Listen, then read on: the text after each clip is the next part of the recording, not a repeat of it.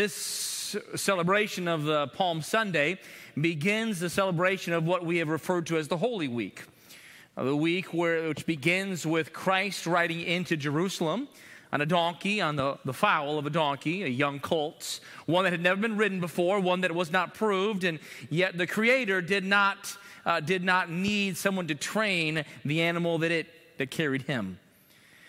And, the, and Christ rode into Jerusalem to the cries and the shouts and the praise of the multitudes and, and the disciples, and to the palms that were thrown along the path, and the cloaks that were removed from the shoulders and tossed down for the king to have a smooth path into Jerusalem. And then just a few, uh, just a few days later, those cries of Hosanna, blessed be the king, would turn into the cries of crucify him. And we choose Barabbas. What a shift, what a change in the mouths of those there that week. And it would be negligent and shameful if we were to think that in some ways we are much different. In fact, we hopefully navigate this life with Christ but unfortunately, even those who claim the name of Christ can at times work through life on their own. They don't use and access the power that the King brings. In the moments in church when we loudly proclaim, Hosanna, praise to God, can quickly turn to something else on Monday or Tuesday when life doesn't turn out just like we anticipated. In John chapter 12, we find the account, John's account of the triumphal entry. It begins in verse number 12 of John chapter 12. On the next day, much people that were come to the feast when they heard that Jesus was coming to Jerusalem took branches of palm trees and went forth to meet him and cried, Hosanna! Blessed is the King of Israel that cometh in the name of the Lord. And Jesus, when he had found a young ass, sat thereon, as it is written Fear not, daughter of Zion. Behold, thy king cometh sitting on an ass's colt. And look at verse 16, please. These things understood not his disciples at the first. But when Jesus was glorified, then remembered they that these things were written of him, and that they had done these things unto him. Now, one would think that if you walked with Jesus, if you talked with Jesus, if you listen to Jesus, if you experience the miracles of Jesus, that you would have got it. One would think that if you had, had seen a, a lady plagued by demons and then freed and loosed from that bondage, you would think, I'm going to listen to this, to this individual. One would think that if you had been there the day that Jesus cried, Lazarus, come forth, which happened just in this book a chapter earlier, chapter 11. One would think that if you had observed Lazarus walking out of the tomb where he had been laid, and if you had maybe been part of unwrapping the grave clothes from Lazarus, one would think that you would take note. And yet the Bible multiple times repeats this type of phrase about the disciples that they didn't catch what Jesus was doing. They didn't notice what he had said. They didn't remember about his resurrection. And all the way up into the crucifixion, they had missed the point. They missed the point. Even asking questions like, Lord, when you reign, can we be by your right hand and left hand? They missed the point. And yet they're not off the hook.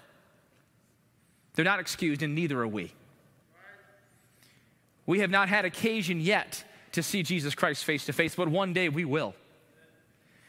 We have not had occasion yet to touch his hands or his nail pierced side, but one day we shall see him as he is. And Jesus said, Blessed are those who, having not seen, believe. Tonight, as we approach Isaiah chapter 6, I want to remind us again this week is the single most, I would submit, the single most important week we celebrate in all of Christian history and in all of human history. But many will miss it, unsaved and saved. There's more to Easter than the Easter bunny and a chocolate basket.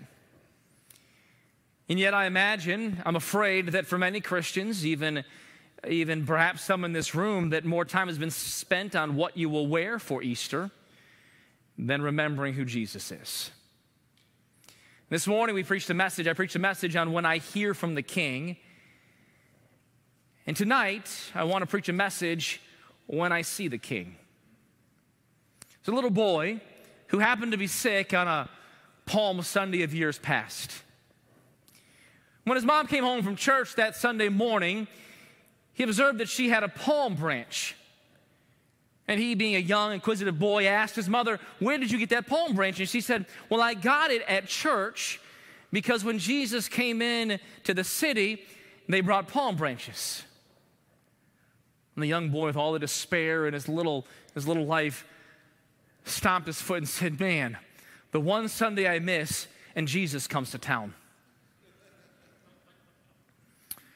Now, but lest I forget tonight, these palm branches, I would encourage you to take them. Young children, there's enough for all of you to have one. And each family, I'm sure, can take one tonight and put it somewhere in your home. And perhaps this week, as you look at the palm branch, it may take your mind back to what this week is about. Beginning with the triumphal entry, in the middle, not, not ending with the crucifixion, of course. All right, some would have said it ended with the crucifixion, but my friends, that was, that was merely a hotel stay for Jesus Christ. All right, that was, that was just a passing, that was a passing stop because the week ended, the week ended with the resurrection of Jesus Christ. And that wasn't the end, and really the beginning, and why you and I can sit here tonight. This morning, I challenged you to think what if Jesus Christ walked down the aisle this morning? and walked up on this stage and spoke to us, what would our reaction be? What would our response be? Or, in essence, I asked us to picture what if Jesus was in this room this morning? And tonight I want to turn that one other direction and not ask you to picture if Jesus were in this room, but what if tonight we went to his room? Because in Isaiah chapter 6 tonight, when we open up, uh, when we get there to that passage, we're going to see what happens when someone peeks into, when Isaiah peeks into the throne room of God, or what happens when someone goes into God's room. This morning, I believe that all of us had a similar response that if Jesus were to show up this morning or tonight and to be in this room, that we would stay as long as necessary and not complain Hunger could, could set, be set aside, or time could be set aside. Anything in our list of, of to dos that we want to accomplish today or tomorrow or for a few days would be set aside for Jesus Christ as He taught to us. What amount of time would be too much to spend with Christ? But even much more vast and grand is the thought that we could appear and see into, into God's throne room. And that's just what happened in Isaiah chapter 6. So if you have your Bibles, please turn Isaiah chapter 6. What happens when I see the king? You see, the disciples that day, they saw the king and they didn't, they weren't even moved by it. In fact, they didn't even remember it until after he was glorified. Can you imagine if, if you could see God in his glory and not recognize it?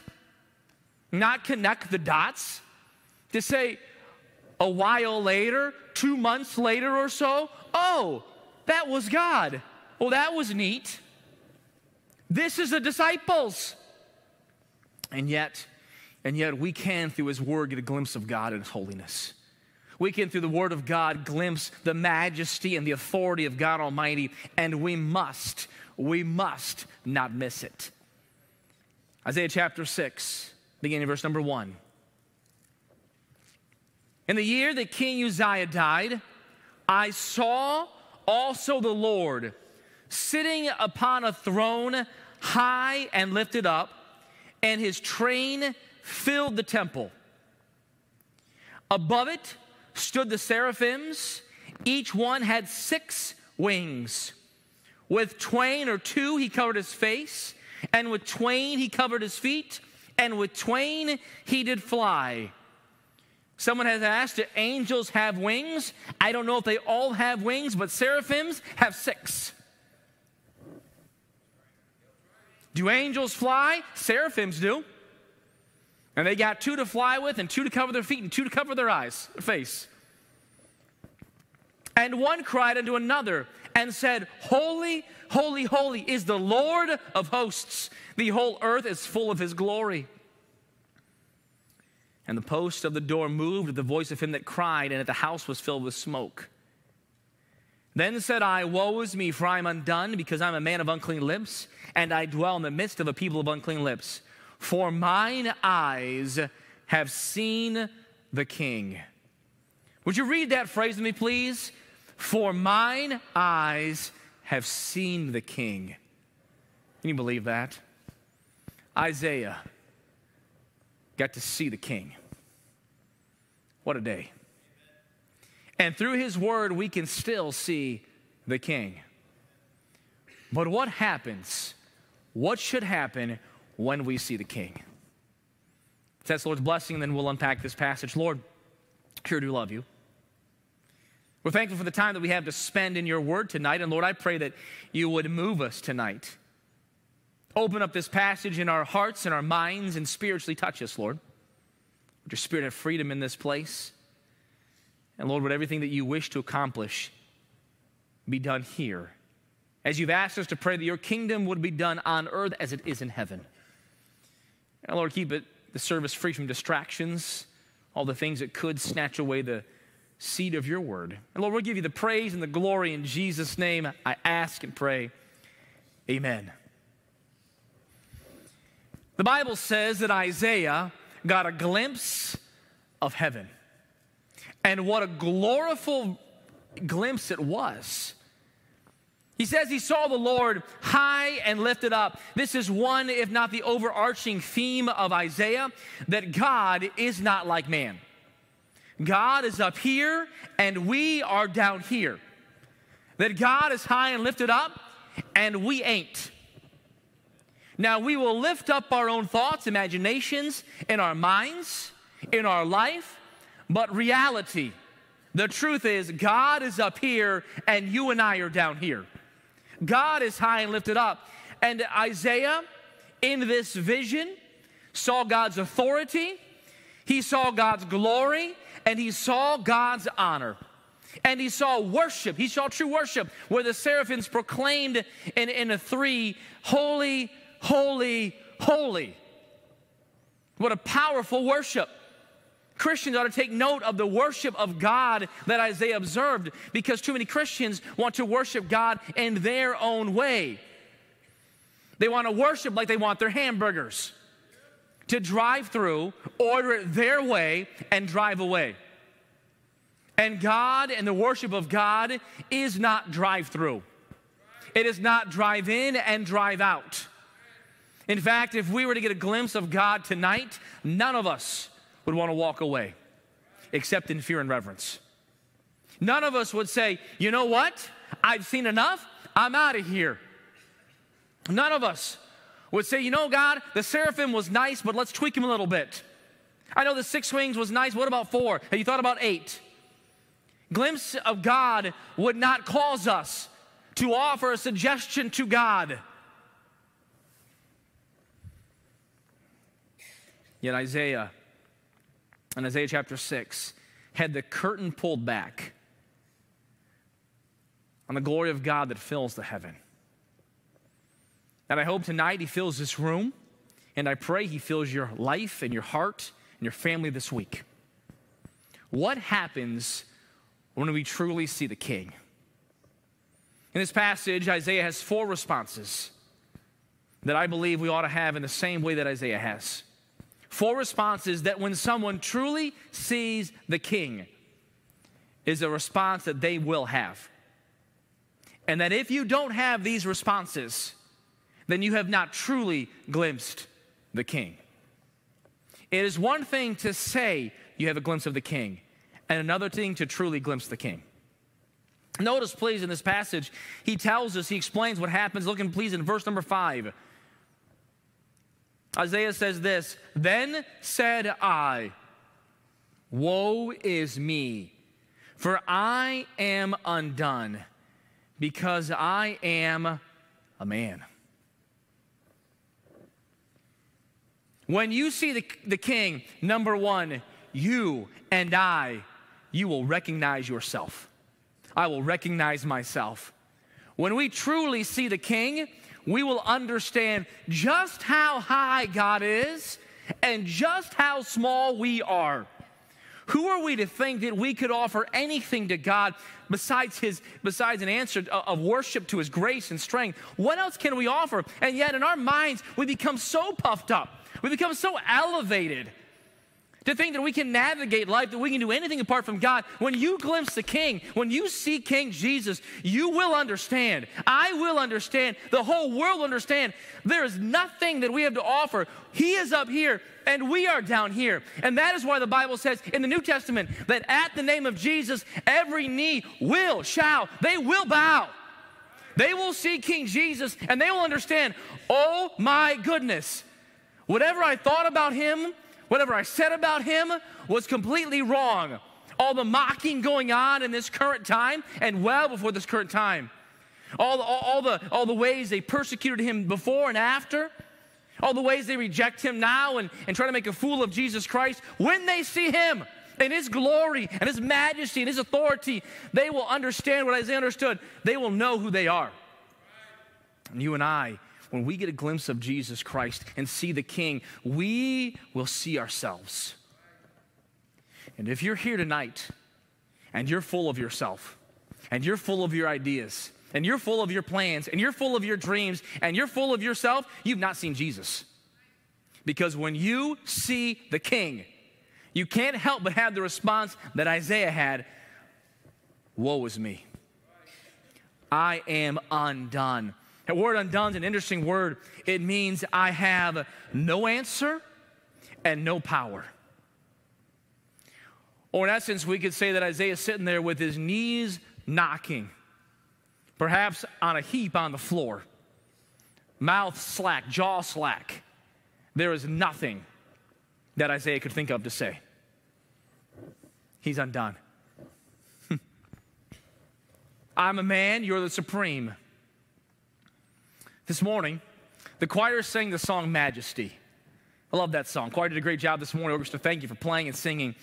The song was written by a man named Jack Hayford. Written in the 19, uh, 1970s, actually, when he wrote the song Majesty. He wrote it after taking a trip with his wife, uh, after going through Great Britain, Wales, and Scotland.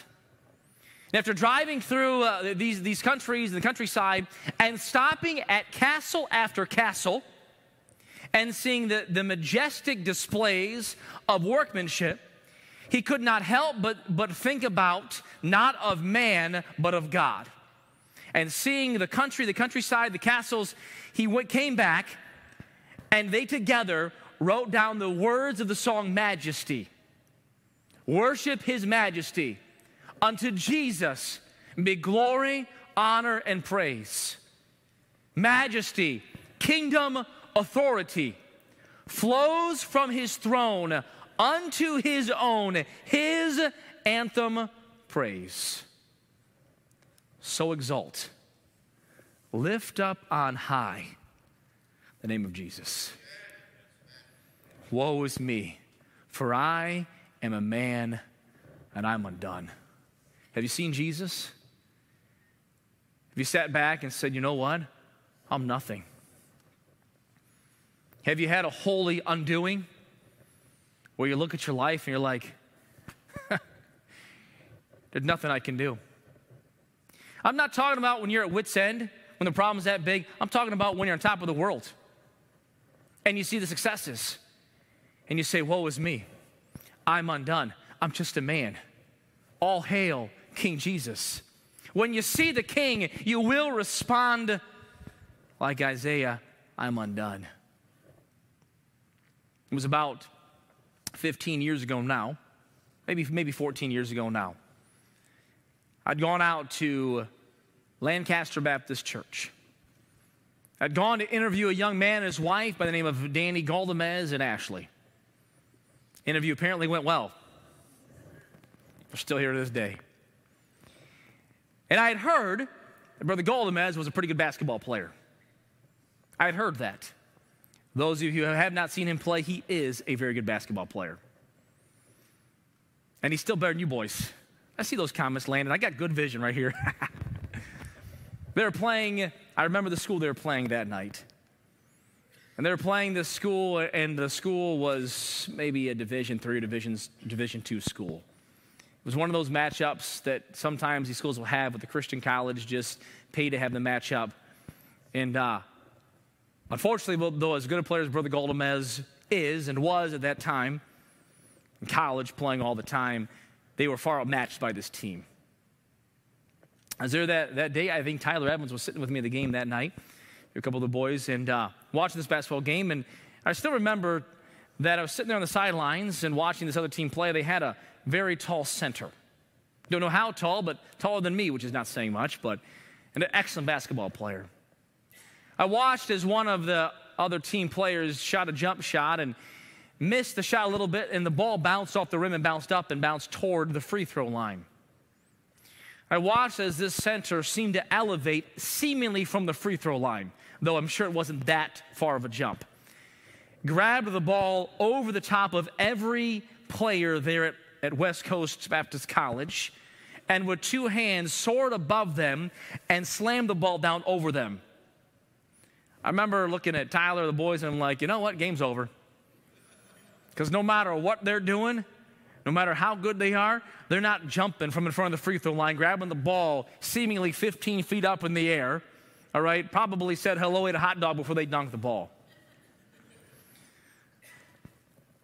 You know, that man that night who did that, if I'd played basketball against him, it wouldn't be a contest, would it?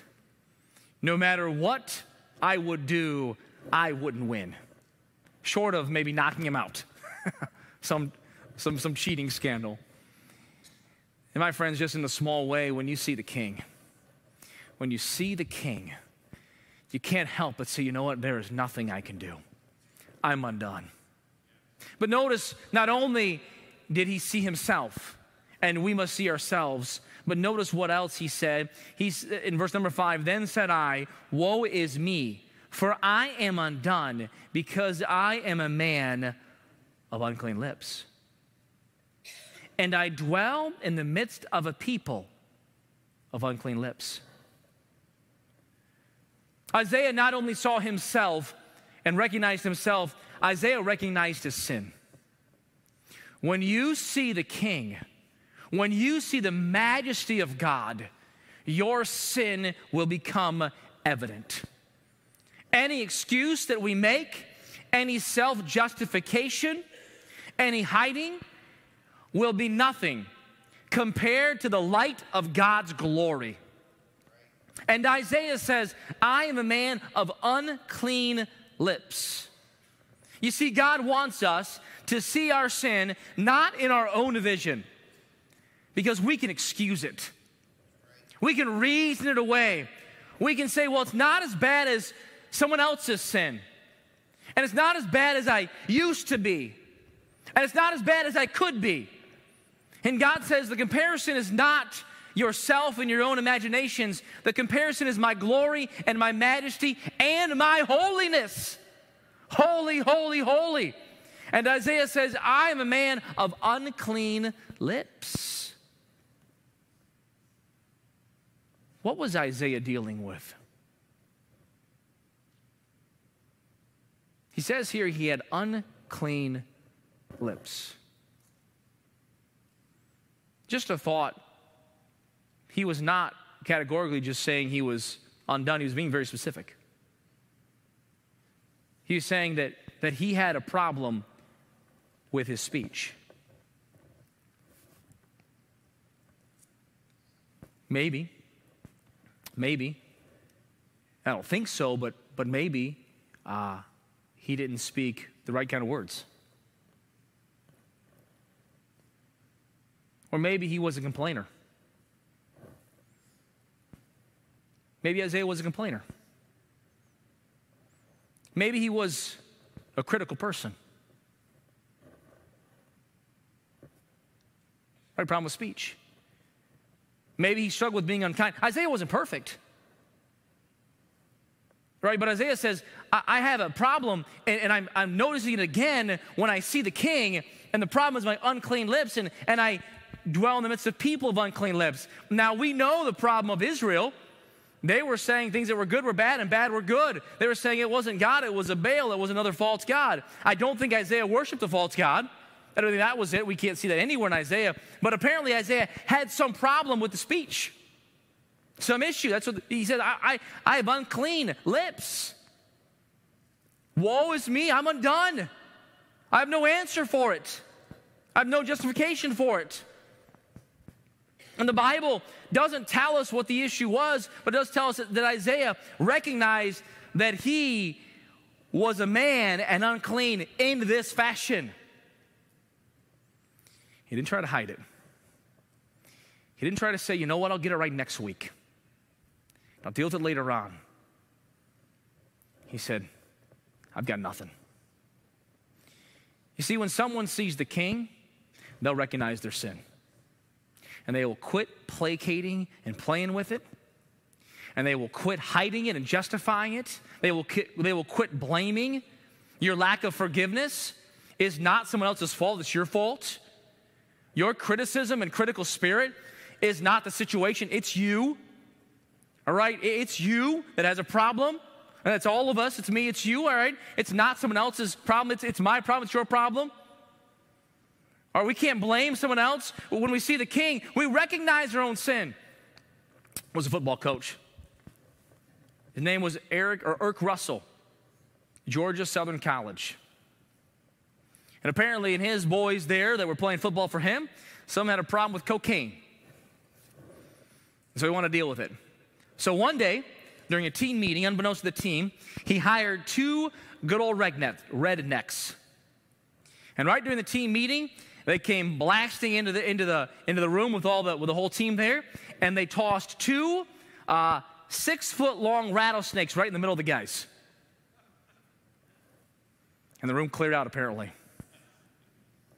Which it would if I tossed a rattlesnake in here tonight. If I brought one inside this room, you'd leave. There, there's only a few crazies in here who'd be like, I want to see this thing closer. The rest of you who are sane, Right, Brad, would you stick around? You probably want to come. Yeah, you're okay. You're crazy. but most, of the majority will be, you know what? I'm out of here. We're calling animal control. We're calling somebody. We're calling another redneck, whatever it is. But I'm not sticking around. And Eric Russell said to his boys that day, he said, You are more scared of rattlesnakes and you are cocaine. My friends, I'm afraid that we're more scared of rattlesnakes than we are of sin. And it's because we haven't seen the king. Because when we see the king, we can't help but say, I'm just a man, and recognize ourselves and see our sin and say, you know what, and I am unclean. And it may be in your mind, it may be with your speech, it may be with your unforgiving heart, it may be with your gossip, it could be with bitterness, Whatever your poison is, you'd be more scared of a rattlesnake than sin because you haven't seen the king. Susanna Wesley, she was the mother of John Wesley. She said to her young son when she was teaching him about sin, she said, John, if you would judge of the lawfulness or unlawfulness of pleasure, then take this simple rule, or judge things to be sinful by this whatever weakens your reason, and impairs the tenderness of your conscience, obscures your sense of God, and takes off the delight of spiritual things, that to you, my son, is sin. Tonight, I wonder if we need to see the king again. Look at our life and say, I'm a man. And I'm undone because I have unclean fill in the blank. But notice what happens next. Isaiah is there and he's in this vision. He sees the king, he sees the glory, he sees the majesty, he sees the authority, he sees the honor. He recognizes himself, he recognizes his sinful state. Then look at verse number six, please. We continue on the passage. Then flew one of the seraphims unto me, having a live coal in his hand, which he had taken with the tongs from off the altar. And he laid it upon my mouth and said, Lo, this hath touched thy lips, and thine iniquity is taken away, and thy sin is purged. These two verses, verse 6 and 7, I admit, are, are somewhat at first glance a conundrum. You're like, what is happening here in the throne room of God that a seraphim flies to the altar and grabs a burning coal and touches in the vision to Isaiah his lips and then says, Thy sin is purged, and thy, thy iniquity is purged, and thy sin is gone. Like, like what, what is going on here? Like, is there some supernatural coal burning thing? What, what is happening? I think upon closer examination, I can understand just a couple truths for you or to help you. Because the truth is this that Isaiah, and here's the, the, the big truth Isaiah recognized, all right, remember, he recognized himself, he recognized his sin, but now he recognized his salvation. All right, he recognizes salvation. So notice, notice what's happening here, though, that a seraphim is doing this. Now, a seraphim, uh, if you look back at the word, is a fire. It talks about the fire. All right, so in essence, this being is so bright it appears it's on fire. Yet it goes, all right, and we find this, in, in fact, when Moses lifts up the fiery serpent, almost, almost exact same word. All right, almost exact same word. Remember, they looked to the fiery serpent when he lifted up on bronze and saw salvation. All right, a neat, neat comparison there. But this seraphim goes over to the altar that is found in the throne, of, in throne room of God. And yet, this seraphim, who was, who, who obviously is holy, not holy like God, but he's, there's no sin and iniquity inside of this, this being, cannot touch this live coal on the altar. He cannot just grab it. You notice the scripture says he grabs tongs. He used tongs to grab this live coal. Because whatever was on the altar was put there by God Himself. And the Bible says that our God is a consuming fire. In fact, the book of Jeremiah says this that the word of God is not my word like as a fire, saith the Lord. And the picture here is that God Himself is cleansing Isaiah. The picture that God is doing the cleansing. Now, it does not appear in this passage, all right? I would not say that Isaiah needed a full cleansing. I would remind you of Peter and the washing of the feet. Remember, Jesus was washing feet and he's washing Peter's feet, and Peter's like, Hey, you know what? Don't wash my feet. I'll wash your feet. And Jesus says, No, you need your feet washed by me. And Peter says, Great. Don't, don't just wash my feet, wash all of me. And Jesus is like, My goodness, Peter, you never get it right. My own version right there. I apologize. And he said, Peter, no, you don't need that because you've been cleansed, but, but you've gotten dirty. You've gotten dirty. So let me wash your feet. Right? The Bible talks how the word washes us and cleanses. So after salvation, our iniquity has been purged, been covered. And I believe that last part of the verse, verse number seven, talks about when thy sin is purged, all right, that your sin is covered. All right, so that's not an issue, but you need to be cleansed, all right? And so he's saying, listen, you need to be touched by me. And, and Isaiah recognizes that nothing he could do, and here it is, nothing he could do could cleanse himself. That God in his glory had to do it. And yet, in, your life and my life, there's nothing that we can do. It's only what God can do. Cleansing comes from God, the washing comes from God. I can't be good enough or make myself clean enough. I must merely rest in what God has done and what He is doing and what He will do. When you see the king, you again are reminded, even in my filthiness and my own struggles, that God, I need you to help me and to cleanse me. And I can't beat this struggle. I can't beat this problem. You're going to have to. And God says, okay, so sit back and let me work. Just be in that place and I'll touch you. All right, I'll help you. It won't be you, it will be me. What a blessing. What a blessing, Christians, that we're not just like, listen, as long as we work a little harder and labor more. No, it's the fact that God will touch us again and help us. In 1952, I got a story. Betty Crocker, the company, launched an instant cake mix. Just add water. Now, ladies and men, how many have used an instant cake mix to this day? Come on.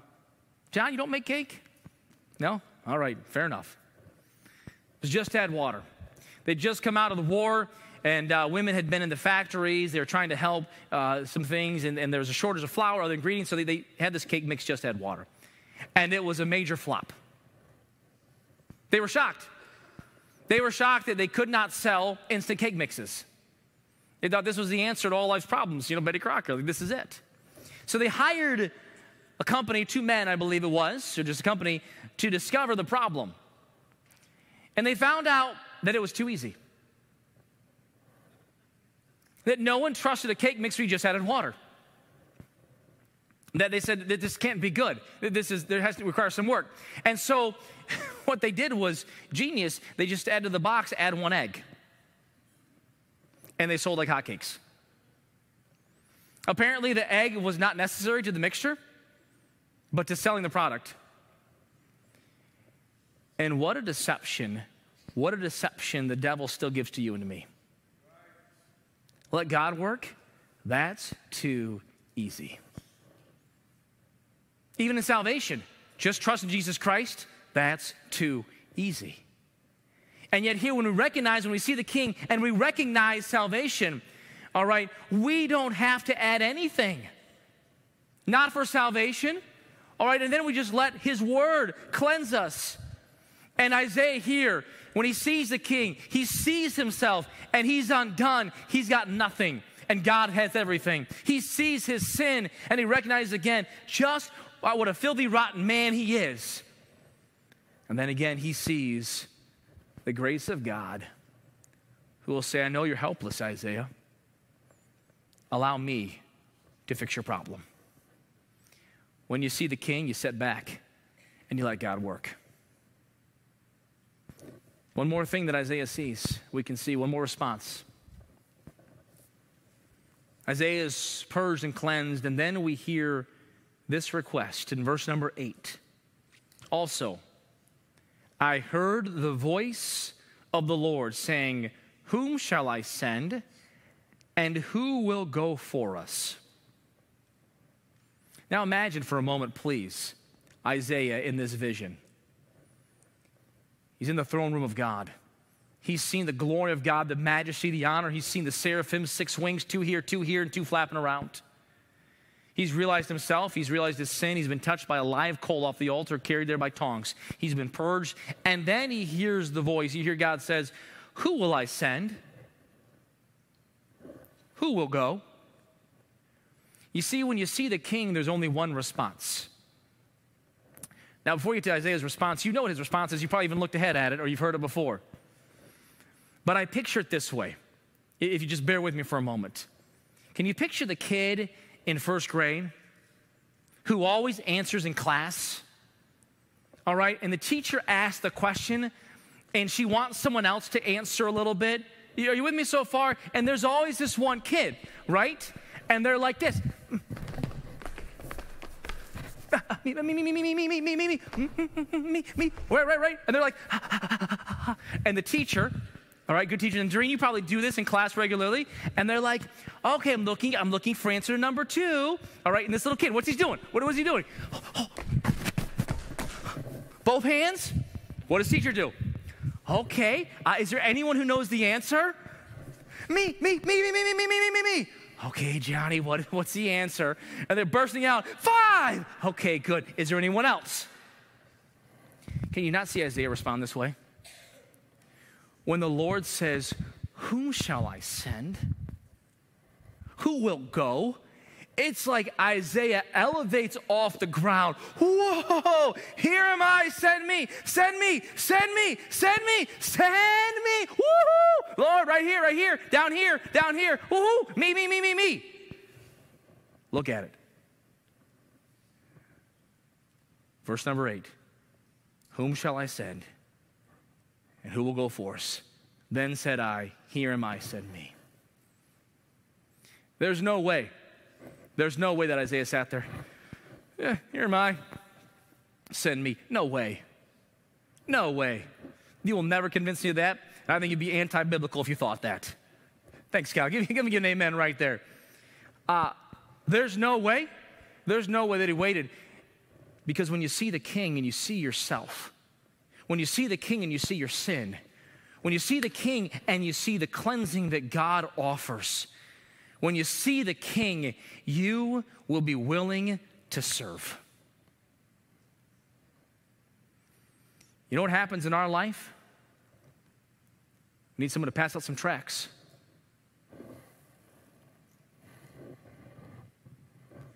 You haven't seen the king. You haven't seen the king. He calls on your life to give the gospel, to witness. You haven't seen the king. You haven't seen the king. You feel the tug to get involved in a ministry, to serve in a capacity in a local church, which is completely scriptural and biblical.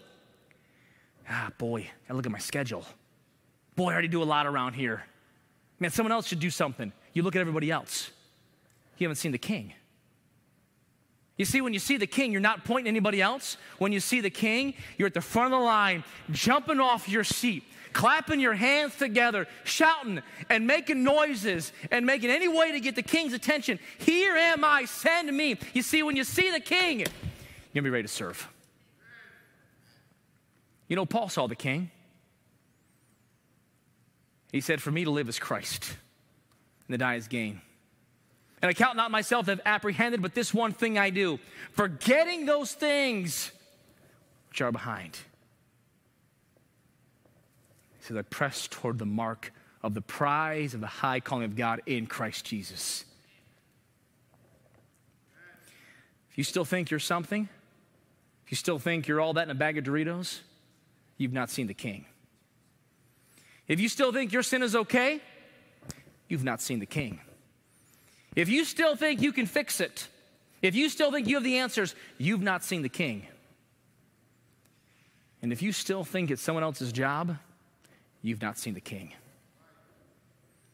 What happens when we see the king? Life's different. Problems are solved, sin is transformed, and service is energized. So, have you seen the king. Not have you said you've seen the king and claim to have seen him, but have you seen the king? Because when you see the king, you cannot help but respond this way. Invitation simple. If you need to see the king tonight, then look full in his wonderful face. And you'll recognize I'm nothing and I got problems. And He can solve them, and I'll do whatever He wants me to do. Choose me.